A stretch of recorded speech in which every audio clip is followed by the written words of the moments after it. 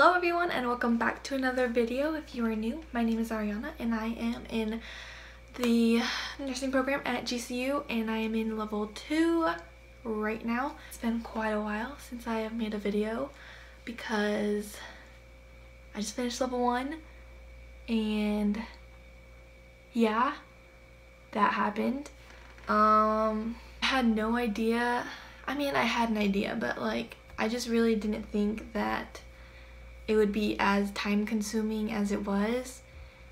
And yeah, that's what I'm here to talk about today anyway, so we can just get into the video. So obviously this is a recap on level one, um, or I don't know what other people call it at other schools, maybe like first, first semester of nursing school. That's basically what I just finished.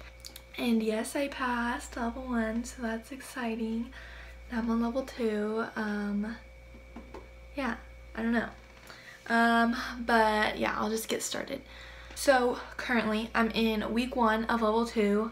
So that's why I'm able to like make this video because it's only week one and it hasn't gotten started yet, but it'll get there. Um, so yeah, sorry if I don't like post a bunch of videos. It's just a lot of work. Um, and this is not my top of my priorities, so I'm sorry, but I will recap the whole level and um, yeah, just let you know what happened in it. So the first thing that I am gonna say is that nursing school is so much different than prereqs. Like, it's a night and day. And like, you'll find that this is like a reoccurring theme in this video is that like just how different nursing school is from prereqs. Like, you thought prereqs was hard?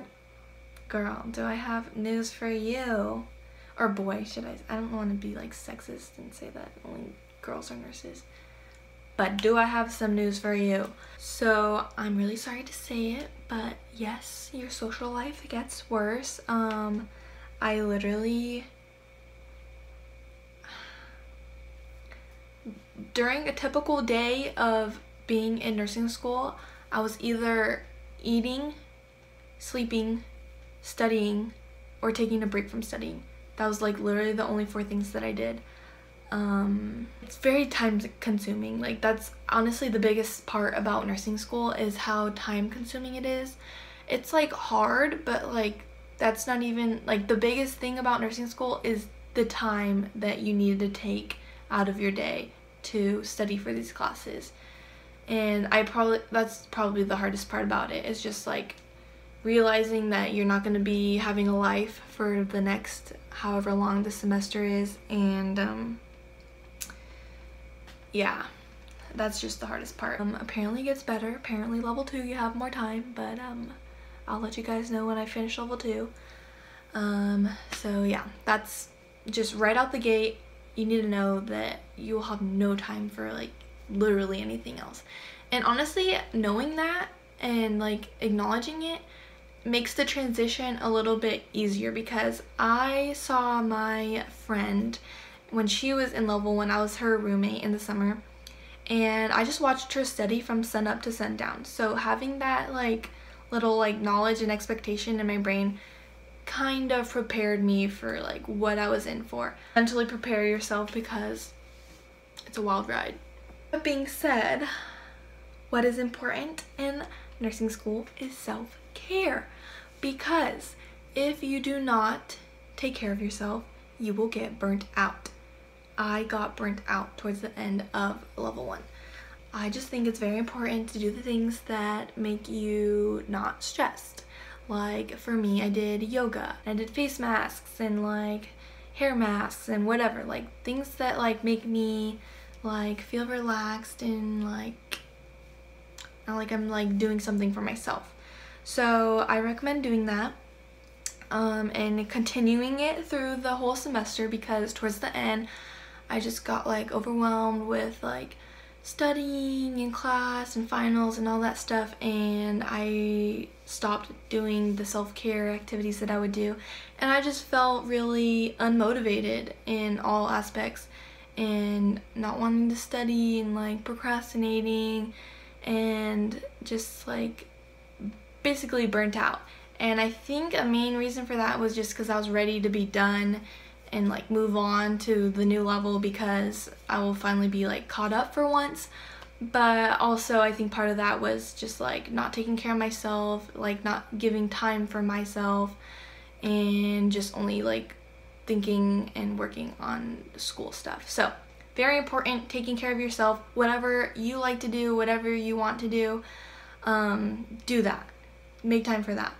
Um, I will say that um, I also did like fun things. Like I went on a date every Friday with my boyfriend and that was really fun because I would just look forward to that every week and yeah the little things like that they make the biggest difference so keep that in mind when you're nursing school. Okay, so the next thing I want to talk about is studying.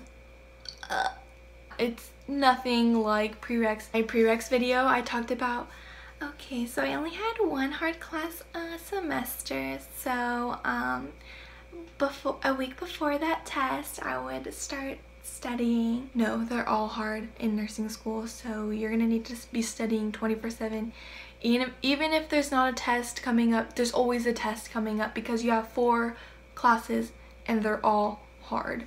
So um, let me start off by like talking about the classes that I had.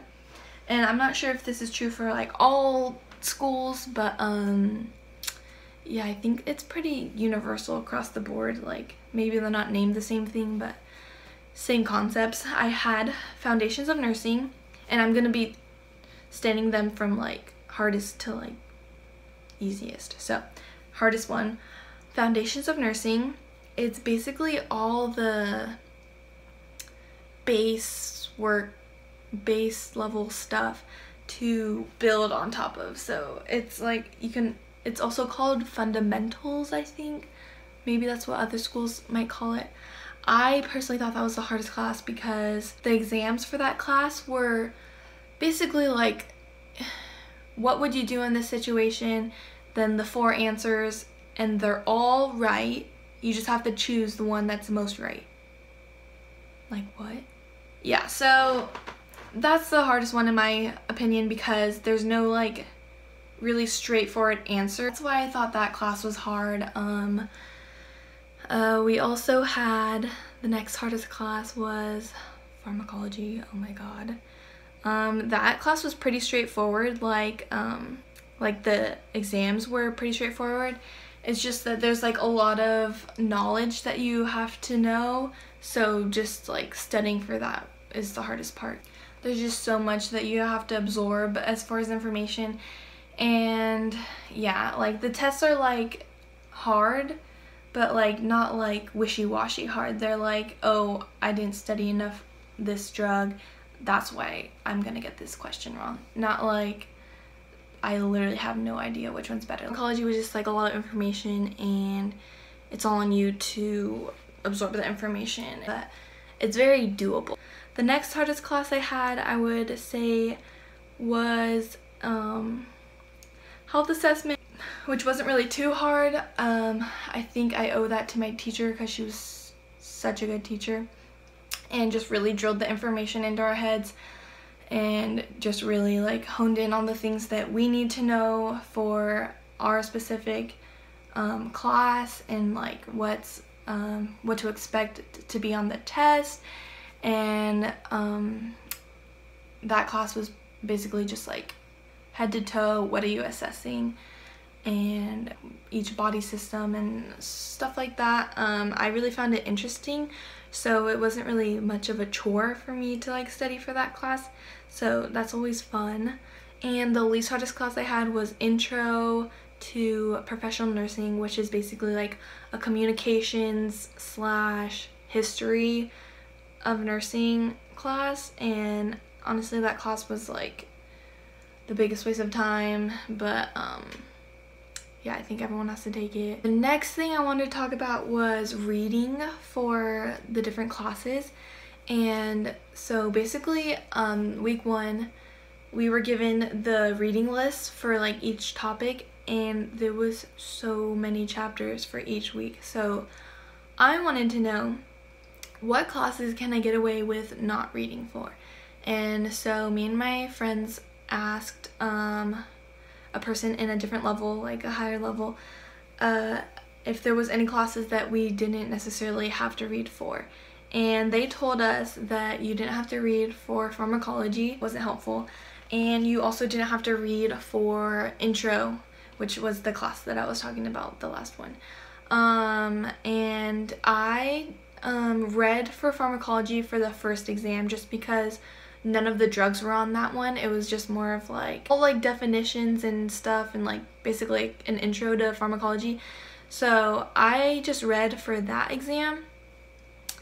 Um, and I did pretty well on that exam. So I recommend reading maybe for the first exam for um, for pharmacology and then for intro they said don't you don't have to read but the thing about that is I had a really bad professor that didn't teach us, so I found reading helpful to like gain what I didn't get in class, if that makes sense. So um, if you do have a good professor, then by all means don't read for that class. I just, we weren't blessed in the uh, professor department last semester, so that's what I recommend with reading and then also obviously for the other two classes you have to read um, i would more so um, focus on reading for foundations because i think that's more important. But um, reading for health assessment i also think is important and um, maybe like more of like skimming for health assessment. You don't really have to in-depth read and um, all that. What i would do personally is i would just like look at the headings and see if like it's something that I have no idea what that is and then I would start reading that um, like paragraph. But um, yeah that's what I did for reading. Um, my pharmacology professor even said that we didn't have to read for that class. So that was when I was just like okay cool totally I won't read. I'll just focus on my drugs and my drug cards. Okay, so how I studied for every class, um, basically I studied every waking moment like I said, I would either be eating, sleeping, studying, or taking a break from studying. Um, so yeah, that's pretty much how I studied. I was either reading PowerPoints, reading the book, uh, recopying down my notes that I took in, um, in class, filling out flashcards, pretty much anything I can do to be like just instilling the information in my mind basically from the time I got out of class to the time I like was getting ready for bed. So, and obviously taking breaks in between because you can't just straight study for that long. You need to take breaks so you can retain the information. So yeah, that's how I did it and honestly my intention with this video is to basically either like prepare you for what like is to come because I think that's super helpful if you like have an idea of what you're getting into instead of just being like bombarded with all these things and feeling overwhelmed and feeling stressed. Like you'll probably feel all those things but like since hearing these things and like knowing a little bit of an insight of what it's like maybe it'll be like less of a big shock. Um so yeah that's kind of my purpose with this video um, I'm not trying to scare anyone, obviously, um, but I'm just like trying to let you know, like, hey, maybe get prepared. Um, yeah. Also, another thing I want to say is if you go to GCU, um, I had no idea that you had labs in nursing at the very beginning. Like after you get accepted, you get your class schedule and so I was just pretty much thinking that that was my only like those were my only classes. Um and yeah apparently there is two labs one two hour lab and one four hour lab added on to your already existing classes. So that's something to keep in mind. I had no idea. I was very surprised the first week of school and yeah um, they didn't really explain that very well at the orientation. At least for my orientation you might have a different one where they explain it well. Already got into my schedule a little bit but um, I want to talk about what a typical week looks like. You only have foundations once a week instead of like split up times of foundation. So you have four classes two labs and they're all one day a week. Just a longer time of having it but um yeah, you don't have to go to separate classes. So uh, for this how my schedule went. I had Monday, um, I had pharmacology from 8.30 to 11.30 and then I had a little break and then I had to go to class at 1 to 5. So a three hour class and then a four hour class. So those were my busy days. Mondays were my busy days and yeah, basically, basically be in class for seven hours. And that was a little bit rough. Yeah, Tuesdays were my day off, so kind of able to recuperate from that Monday. Um, and then Wednesday I would have a four hour lab that would be for um, foundations. And then Thursday I would have a class 8.30 to 11.30 health assessment and I would have the health assessment lab right after from 1 to 3 so a two hour lab after that and then on Fridays we would just have intro in the morning which was 8.30 to 11.30 and then that would complete my week and then I also want to add that when you do have clinicals um, for me clinicals were at a skilled nursing facility if you don't know what that is because I didn't know what that is it's just old people that um, have medical things going on. Um, nothing too crazy because um, they're not really equipped for that kind of thing. Um, but yeah, so that's where level one nursing um, clinicals are at, a skilled nursing facility. Um, but when you do have clinicals, you don't have the four hour lab. So it's in exchange for that. So you have an eight hour clinical instead of a um, four hour lab. And I really enjoyed clinicals. Um, it was really fun. I found out that I like old people and I just really liked applying my skills to people other rather than like um, rather than like my peers or a mannequin. It's really different when it's like a person that you don't know and that you have to be like professional with and yeah it's an actual person instead of a fake arm clinicals were five weeks um, so for five weeks I didn't have that lab, but I did have those clinicals. Um, and yeah, I think that's like everything I have for level one. Um,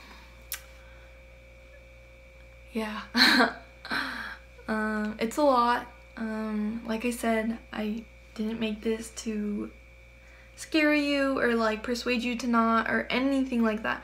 This is just to like prepare you give you a easier transition because if you know what's coming then you won't be so shocked um yeah if you have any questions for me just leave them down in the comments um I'll be answering them. I also have a Q&A um coming out that that will be the next video.